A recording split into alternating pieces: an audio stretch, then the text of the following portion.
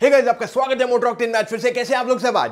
आज हम बात करने वाले अबाउट द होंडा सिटी 2020 जिसकी pricing just like like just now announce हुई है. और ये वीडियो आपको एंड तक देखना चाहिए अगर आपको कुछ भी सवाल हो अबाउट द होंडा सिटी 2020 इसमें आपको सब क्लैरिटी मिल जाएगी. तो शुरू करते हैं आज का सेशन लेकिन उससे पहले मैं कहूँगा तुरंत ही नीचे जो लाल में सब्सक्राइब लिखा है, उसके जाकर प्रेस कर लीजिए, वरना आप मिस करें काफ़ी सारे exciting news reviews car comparison bike comparison जो हम आप तक पहुंचाते हैं, रोज़ाना, वो भी केवल हिंदी में है. तो शुरू करते हैं आज का सेशन लेट्स गो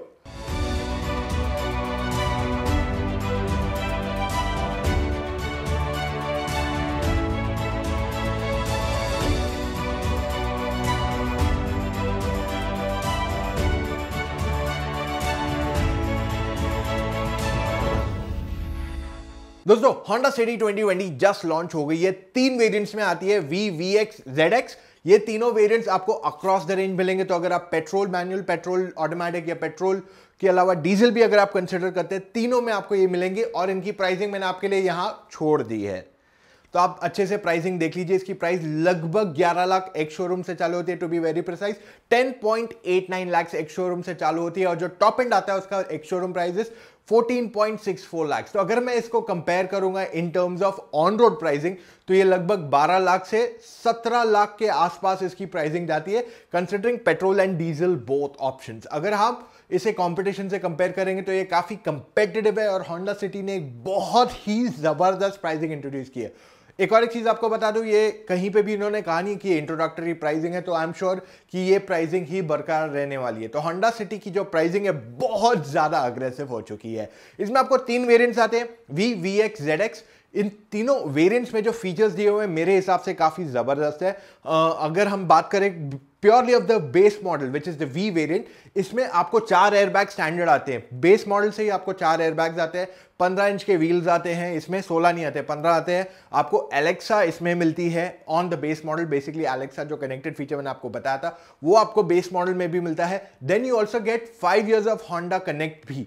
तो होंडा ने एक चीज़ एंश्योर की है कि जो आप बेस मॉडल हो या टॉप मॉडल सेफ्टी पे फीचर्स पे स्पेसिफिकेशंस में कहीं पे भी कॉम्प्रोमाइज नहीं होगा। और ये सेम चीज़ आपको वी मॉडल में भी मिलेगी। तो 12 लाख रुपए में मेरे हिसाब से ये एक बहुत ही अच्छा पैकेज हो जाता है। अगर आप दूसरी गाड़ियों से कंपेयर करें इसको। एक और एक इंपॉर्टेंट चीज़ ये कहना चाहता हूँ कि अगर आप एक वेरिएंट ऊपर लेते हैं वीएक्स इसमें आपको स्ट्रेट अवे सिक्स एयरबैग्स आते हैं आपको सनरूफ दिया हुआ है सोलह इंच के व्हील्स आते हैं। सो so, प्राइमरीली जो फीचर्स आपको बेस मॉडल में नहीं मिल रहे वो आपको सेकेंड मॉडल में मिल जाते हैं। इनफैक्ट मैं काम करता हूँ आपके लिए लिंक छोड़ता हूँ नीचे इन द आई बटन या आई बटन पे छोड़ूँगा नीचे डिस्क्रिप्शन दोनों जगह छोड़ देता हूँ आपके लिए लिंक उसे ज़रूर जाके देख लीजिए मोटरऑक्टेन डॉट कॉम पर हमने सारे वेरियंट्स को अच्छे से एक्सप्लेन किया आपके लिए। तो आपको एग्जैक्टली exactly पता चलेगा कौन से वेरियंट में क्या क्या अवेलेबल है। अब अगर मैं बात करूँ प्योरली प्राइसिंग की तो मैंने ऑलरेडी कहा कि ये बहुत अग्रेसिव प्राइसिंग है होंडा सिटी की। अगर आपको उसका रिव्यू देखना है, मैं आपके लिए लिंक छोड़ सकता हूँ। हमने रिव्यू किया होंडा सिटी का, उसे कंपेयर किया विद द वर्ना अब होंडा सिटी में आपको दो इंजन ऑप्शन आते हैं। एक है one litre petrol six speed manual या सीवीटी के साथ उपलब्ध है वो। और दूसरा है 1.5 लीटर डीजल। ये केवल सिक्स स्पीड मैनुअल के साथ उपलब्ध कराया गया। अगर ओवरऑल हम बात करें इन टर्म्स ऑफ़ परफॉर्मेंस की तो तीनों इंजन काफ़ी अच्छे इन टर्म्स ऑफ़ परफॉर्मेंस आपको दिक्कत नहीं आएगी।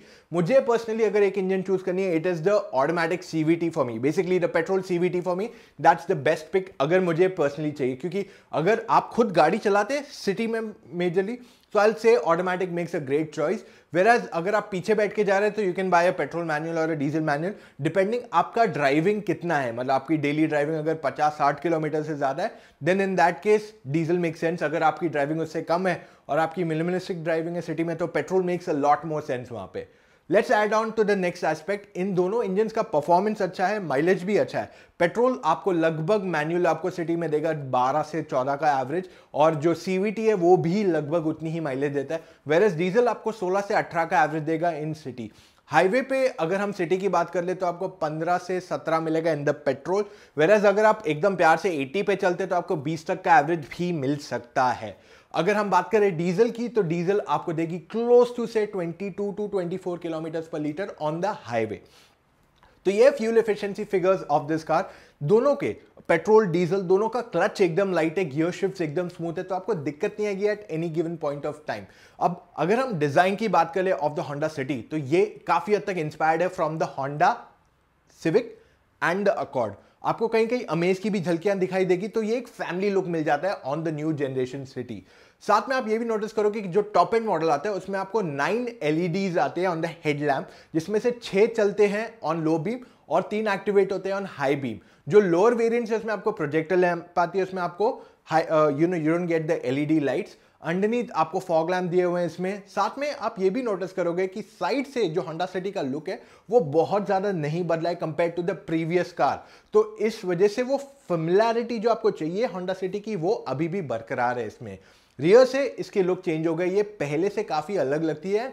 And this is a fresh look जो होंडा ने दिया है to the new generation City interiors में भी अगर आप होंडा सिटी में जाते हैं तो यहाँ पे आप फीचर्स देखोगे कि इसको टच स्क्रीन मिलता है। आठ इंच का Android Auto Apple CarPlay reverse parking camera camera में भी तीन मोड्स है, एक वाइड एक वेरी क्लोज और एक नॉर्मल मोड और साथ में आपका जो camera quality is decent not the best of the lot इसके अलावा आप नोटिस करोगे आपको एक सात इंच का टीएफटी डिस्प्ले भी दिया हुआ है ऑन द फ्रंट जो आप बेसिकली चेंज कर सकते हो कस्टमाइज कर सकते हो कि आप आपको कई नेविगेशन देखना है, या आपको you know you want to see something else तो आप हर बार चेंज कर सकते हो कस्टमाइज कर सकते हो, जो इसी गाड़ी में दिया हुआ है इन दिस सेगमेंट जो टॉप एंड मॉडल आता है, उसमें स्पीकर्स की क्वालिटी भी बेटर है compare to the lower variants क्योंकि ये बेटर क्वालिटी म्यूज़िक सिस्टम दिया हुआ है स्पीकर्स दिए हुए rather on the top end model इसमें आपको लेदर अपोल्ट्री मिलती है, और साथ में आपके पास स्टोरेज स्पेसेस भी काफ़ी है फ्रंट में रियर में रियर की सीट इसकी सबसे स्पेशियस है in the segment most comfortable seat rather अगर मैं स्पेशियस सही वर्ड नहीं है मोस्ट कंफर्टेबल सीट है इस सेगमेंट में, क्योंकि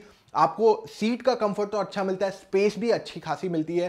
साथ में जो आपको, जब, मान लीजिए आप नॉर्मल गाड़ी में बैठते हैं तो आपके पैर ऐसे जाते हैं ओके इसमें आपके पैर ऐसे रहते हैं, जिस वजह से आप ज़्यादा कंफर्टेबली बैठ पाओगे ऑन अ लॉन्गर ड्यूरेशन तो यहाँ पे कंफर्ट का अच्छा ध्यान दिया हुआ है। इसमें हेडरेस्ट भी बड़े साइज़ के जिस वजह से काफ़ी कंफर्टेबल हो जाता है to sit in the car boot space भी गाड़ी की काफ़ी बड़ी है। So there is no sort of compromise in the quality space features specification काफ़ी ज़बरदस्त है on the Honda City as an overall package अगर मैं बात कर। लूँ तो अब सवाल ये उठता है कि आपको होंडा सिटी लेनी चाहिए नहीं? मेरे हिसाब से इट्स अ बिग यस अगर आप खुद चला रहे हैं तो petrol CVT is the best choice where अगर आप पीछे बैठ रहे हैं okay then in that case pick whatever is your requirement के हिसाब से। पर अगर मेजरली अगर आप सिटी में चला रहे हैं तो petrol CVT makes the most sense आज के तारीख में।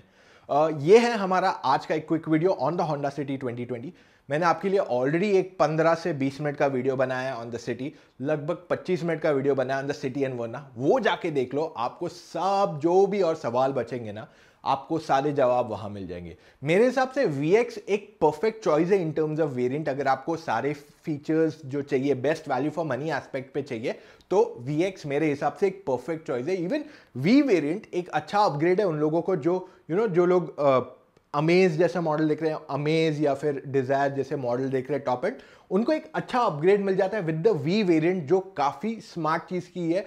फ्रॉम होंडा तो थोड़े एक्स्ट्रा कॉस्ट पे आपको एक मेजर अपग्रेड मिल जाता है उनका इनफैक्ट जो लोग एस भी देख रहे हैं maybe you know X U three डब्लो Nexon Venue उनके लिए भी एक अच्छा अपग्रेड हो जाता है ऑन द होंडा सिटी अगर वो थोड़ा सा बजट और बढ़ा दे with the base model it क्योंकि आपको काफ़ी कुछ मिल रहा है in the Honda City itself so so, ये है हमारी आज की कहानी। आज का वीडियो ऑन होंडा सिटी 2020 उम्मीद करते हैं आपको हमारी इन्फॉर्मेशन यूजफुल रही हो। हमने सबसे पहले आप तक ये इन्फॉर्मेशन पहुंचाई तो वी डिजर्व लाइक और कुछ भी सवाल हो प्लीज़ कमेंट्स में पूछो उनके जवाब मैं आप तक जल्द से जल्द पहुंचाऊँगा। और हाँ सब्सक्राइब अगर आपने नहीं दबाया तो अभी जाइए सब्सक्राइब कीजिए to MotorOctane YouTube channel वरना आप मिस करें काफ़ी सारे exciting news reviews car comparison bike comparison जो हम आप तक पहुंचाते हैं रोज़ाना।